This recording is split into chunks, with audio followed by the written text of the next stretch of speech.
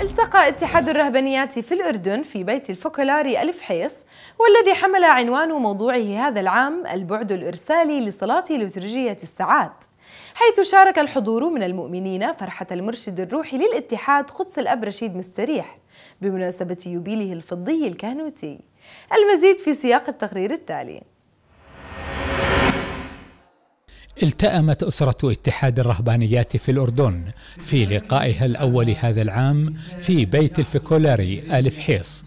وقد استهل اللقاء بصلاة الصباح تلاها كلمة شكر وترحيب من قبل رئيسة الاتحاد الأخت سيسيل حجازين. رحبت فيها أولا بسيادة المطران ويليام الشوملي النائب البطريركي للاتين في الأردن كما قدمت حجازين نبذة عن هذا اللقاء. نحن اليوم بلشنا افتتاح اتحاد الرهبانيات اللقاء الأول كان مع سيدنا المطران ويليام الشوملي وعنوانه البعد الإرسالي لصلاة صلاة لترجية الساعات. وبنفس الوقت حبينا كمان إنه نشرك بهذا اللقاء سيستر كلارا معشر بالموضوع اللي صار بالبحر الميت للقانون الكنسي للزواج. بنفس الوقت حبينا كمان نحتفل بعيد أبونا رشيد مستريح يوبيله 25 سنة في خدمة الرب وهو مرشد اتحاد الرهبانات. فحبينا كل هاي الأشياء الحلوة نجمعها مع بعض ونفرح كعائلة واحدة. الحمد لله اليوم كان اللقاء كثير حلو وناجح و37 إرسالية إجت حضرت من الرهبانات. نشكر الله وإن شاء الله يا رب ربنا يعطينا دعوات تمجد اسمه في كل أنحاء العالم خاصة بهذا الشهر اللي هو شهر الإرساليات.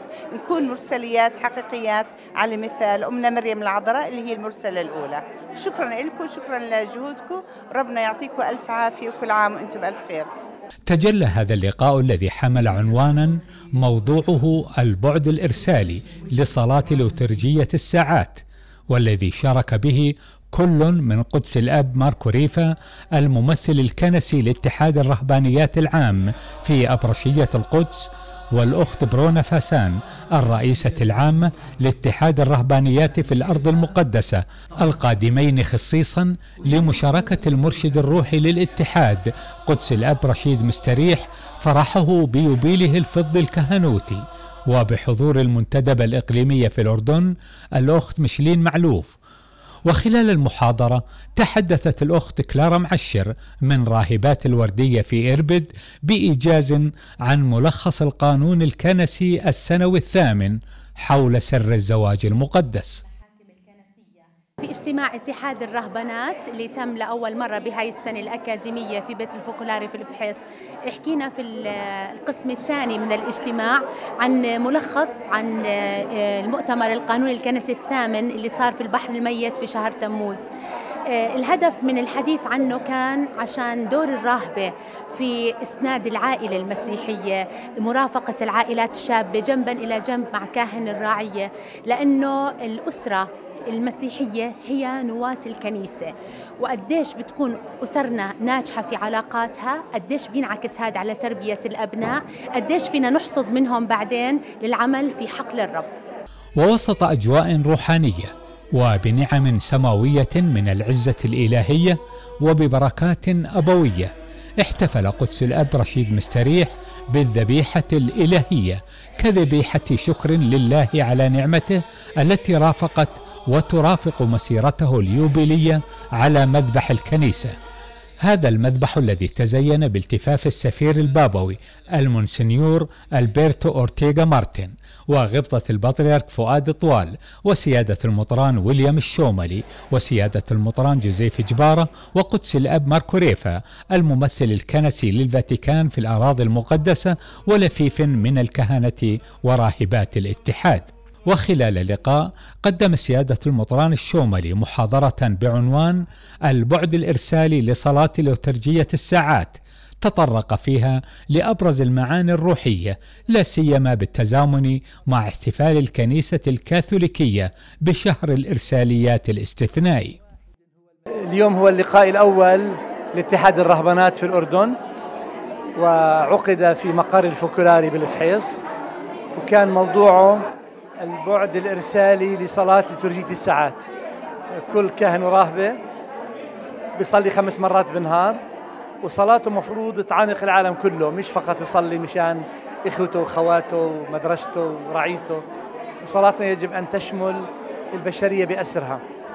فأعطيت أمثلة من صلاتنا كيف أنه نحن نفكر بغيرنا لأننا نصلي باسم المسيح الكلي. الرأس والجسد إذا نصلي لأجل, لأجل حاجات الكنيسة.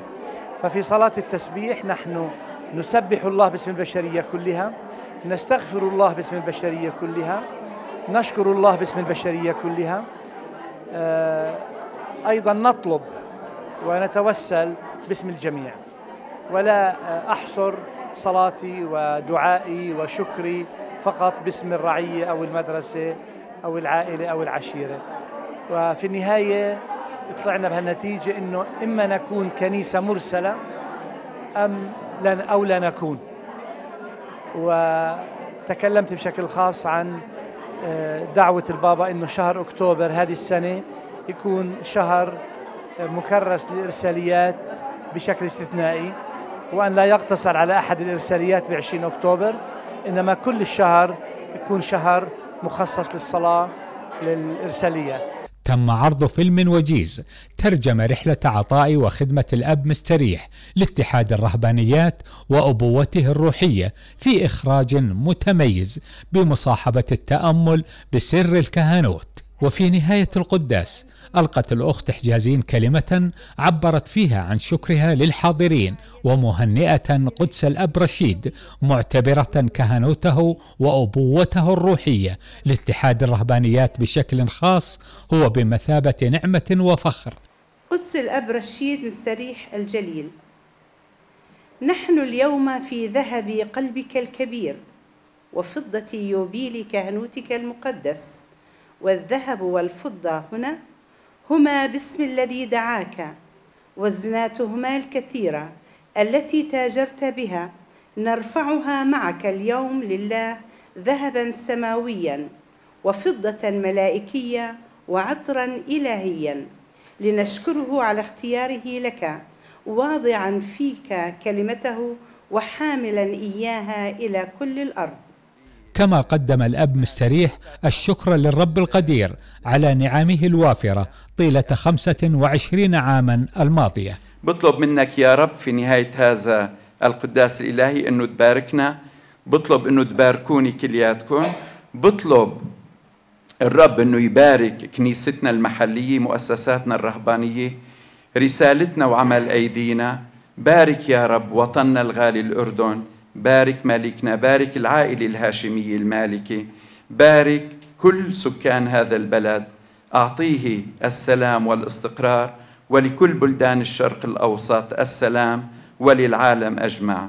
لاسمك المجد والحمد والشكر إلى الأبد آمين. وشكرا جزيلا لكم. وقدم الاتحاد بذلة قداس للأب مستريح وبطرشيل وصورة تذكارية لاتحاد الرهبانيات كعربون محبة وشكر وسط جو إيماني بهيج.